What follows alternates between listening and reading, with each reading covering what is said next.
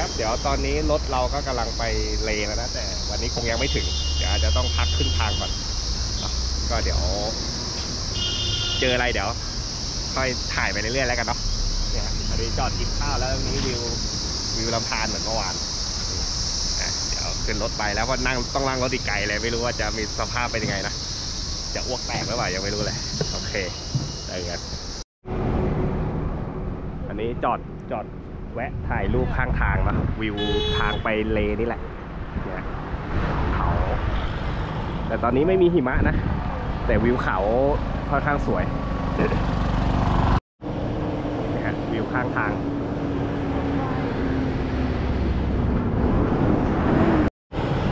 รถเราจอดดีเห็นวิวเขา ก็เลยถ่ายสักนิดนึง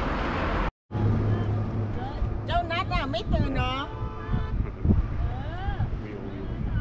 โอเค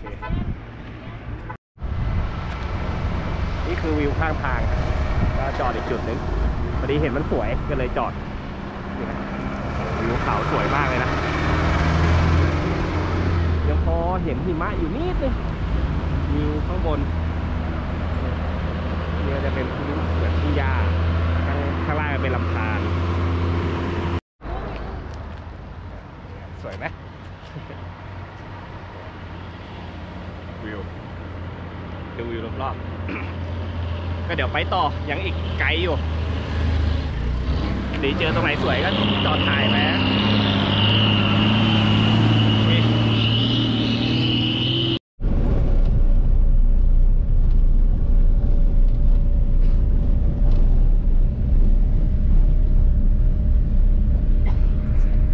ไม่เห็นข้างล่าง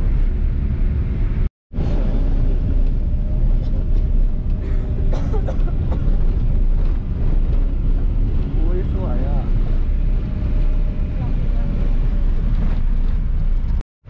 นะฮะจอดแวะข้างข้างทางก็จะมีร้านชา ร้านขนม เข้าห้องน้ำอะไรเงี้ยนะเนี่ยฮะเห็นทิวเขาโอ้โหสวยอยู่นะบรรยากาศเย็นๆเนี่ยขับเลาะเขาเหวมาตลอดทาง เลยนั่งเกงมาตลอดทางเลยอันนี้ห้องน้ำ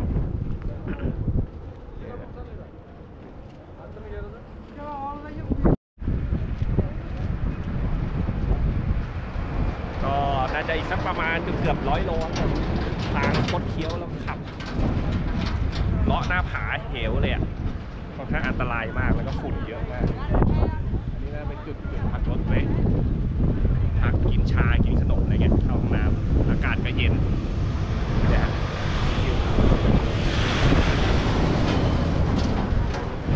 ไปเรื่อยน่าจะนานเลย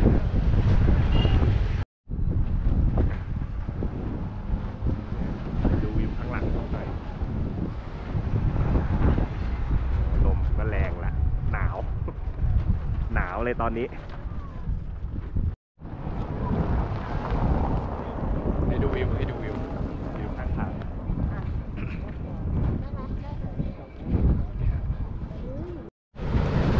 นี่ครับ biker อินเดียฮะนี่ ครับทีไบเกอร์ถ่ายน่าจะมาจากเลฮะกำลังไปแคชเมียร์นะเห็นเขาจอดพักนี่ฮะมาจากตรงเนี้ยเนี่ยฮะกำลังจะเข้าเขตลาดักก็เลยจะมีการตรวจพาสปอร์ต แล้วก็มีการเขียนเอกสารอีกนะตรวจพาสปอร์ต เพราะที่นี่มันเข้มมากมันมีมีทหารมีอะไรเต็มเลยนะ เนี่ยฮะต้องผ่านด่านเนี่ยก็เลยเดี๋ยวต้องเอาพาสปอร์ตแล้วมีกรอกเอกสารนะฮะเดี๋ยวต้องกรอกเอกสารให้เขาเนาะนี่ว่าก่อนจะข้ามไปเขตลาดักโอเค เดี๋ยวกรอกเอกสารกันนะกำลังกรอกเอกสารพาสปอร์ตตรวจ เขียนอะไรครบสิบกว่าข้อฮะบอกรายละเอียดที่พักรายละเอียดเกี่ยวกับวีซ่าต่างๆวิวต่างๆ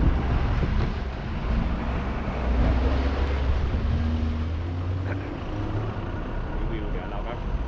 เข้าไป แต่วันนี้เรายังไปไปไม่ถึงเลย ก็เดี๋ยวพักเดี๋ยวไปเรื่อยๆกัน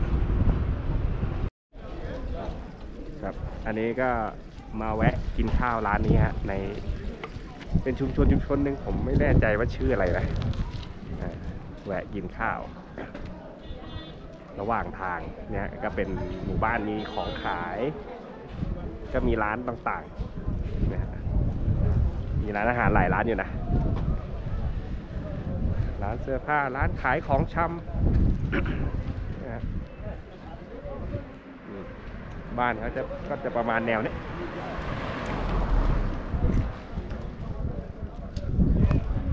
เป็นขนมอะไรของอินเดียก็มีเออขายผักขายผลไม้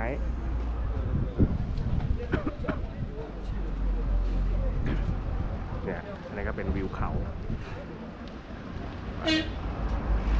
เนี่ยข้างหลังก็เป็นวิวเขาหมดนะเนี่ย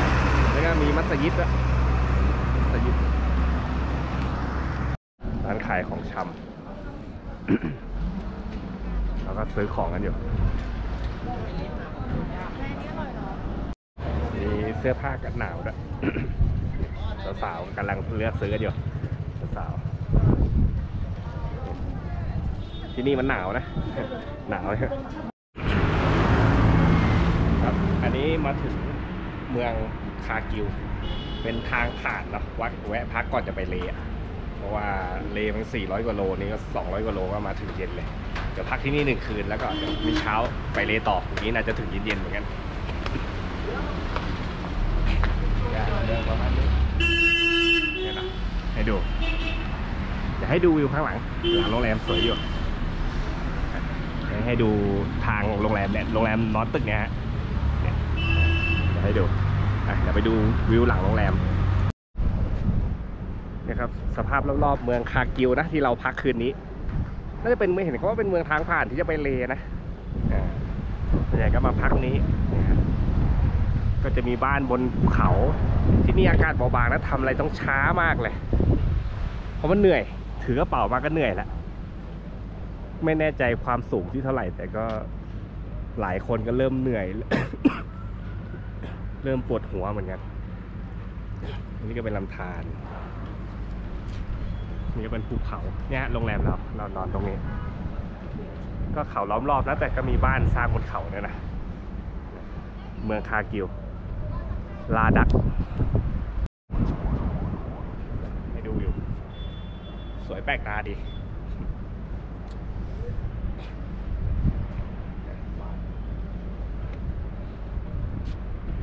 แม่น้ำอะเดี๋ยวไป พักผ่อนผ่อนกันนะ เพราะว่าวันนี้เดินทางแบบถนนหนทางแบบหวาดเสียวตลอดทางเลย แล้วก็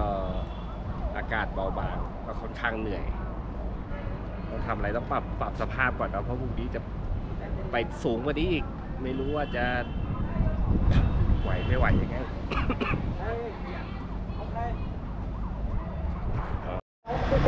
อันนี้เป็นวิวจาก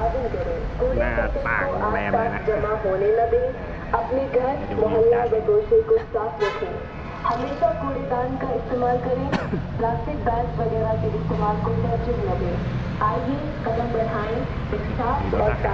ทหารนี่เห็นตลอดเลยวิ่งเขาเขตเนี่ยเขตค่อนข้างจะซีเรียสแคชเมียร์ลาดักอะไรพวกนี้ค่อนข้างจะซีเรียส ยังเห็นทหารตลอดแล้วก็การเข้าออกมันจะติดมาประมาณนี้ครับวันนี้รู้สึกแย่ๆเลยต้องพึ่งออกซิเจนปวดหัวมากเมื่อคืน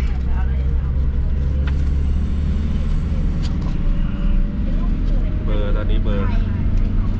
ไม่รู้จะรอดป่ะไปดูวันวันนี้ก็ เดินทางต่อนะ ระหว่างทางก็เจอวัดพุทธก็เลยแวะถ่าย เนี่ยครับ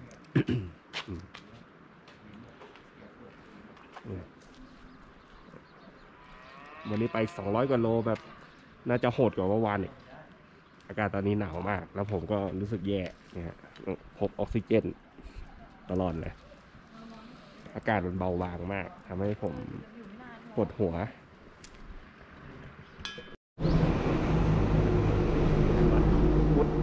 นะนี่ตรงนี้มีแกะสลัก น่าจะเป็นพระพุทธรูปหรือเปล่าข้างในแบบบนหน้าผา แต่ผมคงไม่ได้เข้าไปนะ เพราะว่าอากาศมันหนาวเดี๋ยวไหว้สักการะข้างนอกแล้วกันอันนี้ก็เป็นวิวข้างๆวัดนะ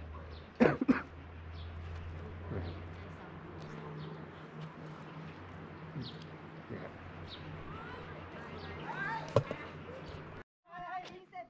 อะนี่ คือวิวข้างทางครับเออเห็นเขาแปลกๆดิ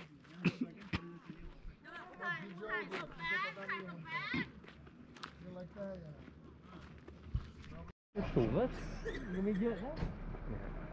สูงมากภาษาพันเดียวนี่ยังไม่ถึงเลยภูเขาแปลกตามากเลยนะ อากาศตอนนี้ก็เย็นเย็น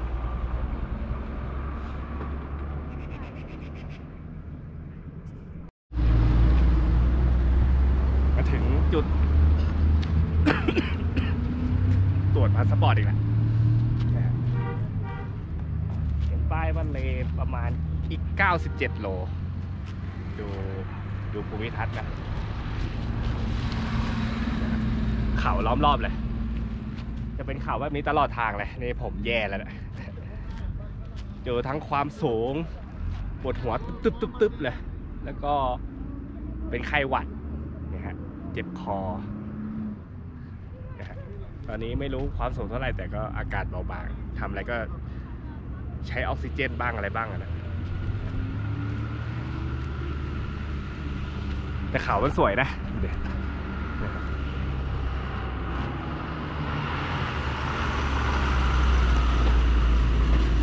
อะเดี๋ยวตรวจพาสปอร์ตเสร็จก็เดี๋ยวไปต่อ โอเคครับเนี่ยครับ ทางไปเลเหลือประมาณ 50 โลได้ เจอภูมิประเทศค่อนข้างแปลกตาเลยเลยจอดถ่ายเนี่ยฮะเนี่ยฮะกลุ่มเรา ออกไป ออกไป เนี่ยรถรถรถรถ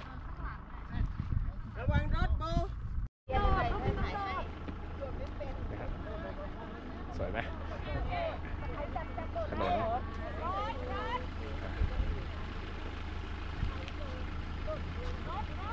ยังพอเห็นหิมะอยู่บนยอดเขาแล้ว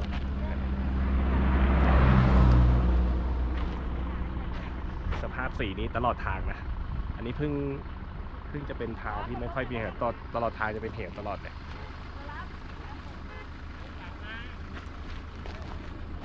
ก็จะมีรถสัญจรไปบ้างนะไม่มากไม่มากเท่าไหร่ อะอั นนี้เป็นจุดที่เพราะว่าเป็นแม่น้ำสองสีนะในรูปนะ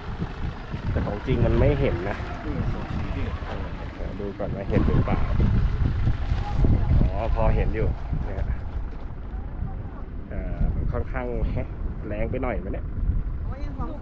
หนูก็สองสีนะเออเนี่ยมันเห็นชัดอยู่สองสี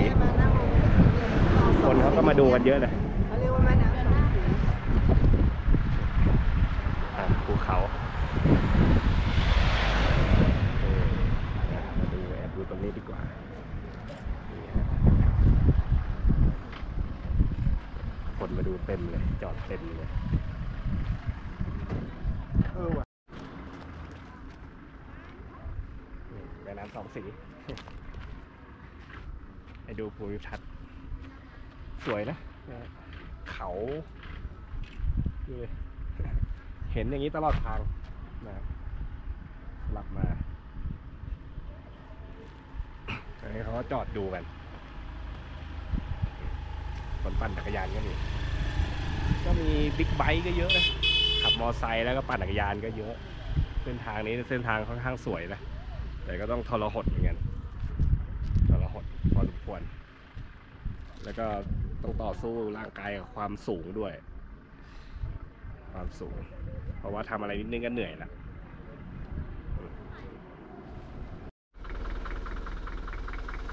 สภาพเส้นทางโหดมากกำลังเดินทางไปบางกองเล็กนะดูผ่าเหวผ่าอะไรมาตลอดเลย อากาศข้างบนหนาวมากเลย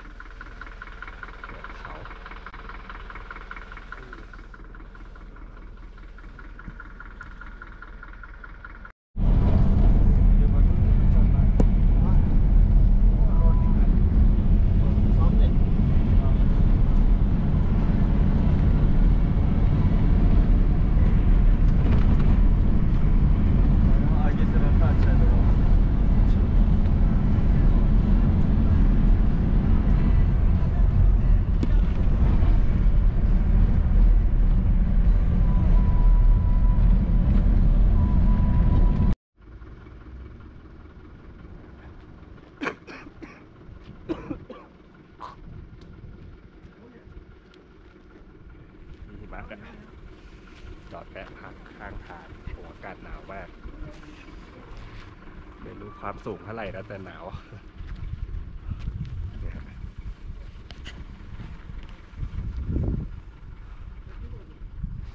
ร้านเล็กๆอะ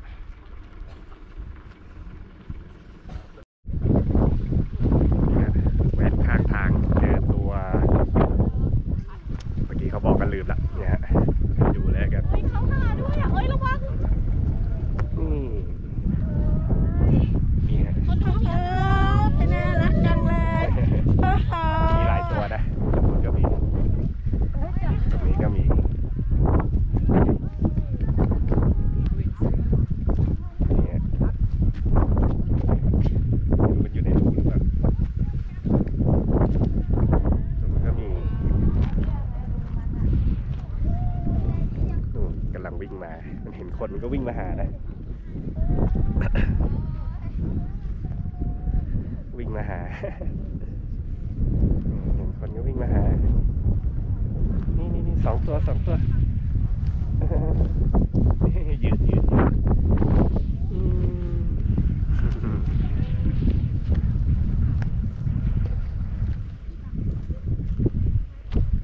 เนี่ยจอดเล่นกับมันสักแป๊บนะ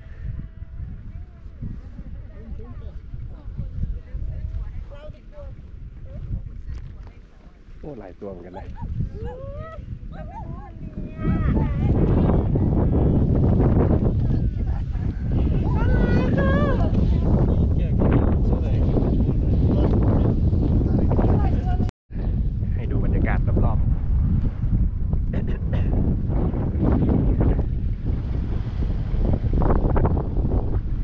ลังไปทะเลสาบบางกองเล็กนะ อีก 20กิโลก็ถึงแล้ว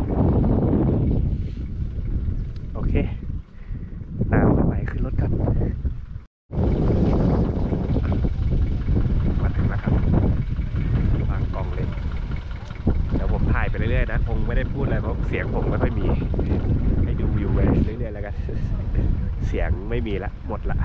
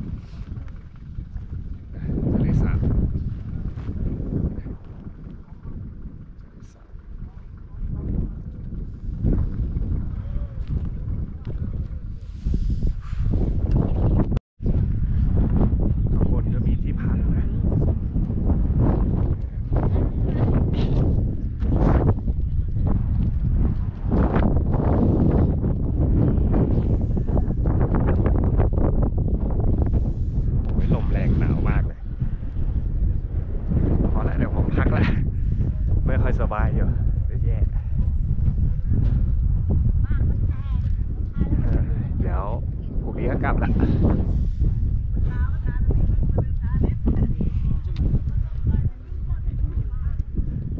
ว่าจะลงไปข้างล่างก็ไม่ไหวไม่ลงดีกว่า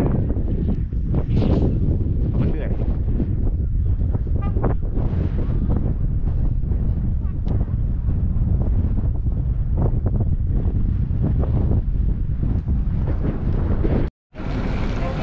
วันนี้กลับแล้วฮะ เขานี่มีแรงเขาเหรอ ถ่ายนิดนึงเนี่ยสนามบินเลเขาไม่ให้รถเข้าไปแล้วน่าจะเป็นสนามบินทหารหรือเปล่า ก็เดี๋ยวขนกระเป๋าเดินเข้าไป ไปดูข้างในนี่ยฮะจุดเช็คอินในสนามบินเลนะอะให้ดูรอบๆ เล็กๆไงเล็กๆอะไปที่เกตก็ออกขึ้นเครื่องเลย เนี่ย โอเคครับ เดี๋ยวกลับประเทศไทยแล้ว เดี๋ยววินจากเลไปเดลี แล้วก็ไปต่อเครื่องที่เดลีไปสวนภูมิกลับบ้านอืมโอเคบ๊ายบายแย่เลยทริปนี้ ได้กลับสักที โอเคครับ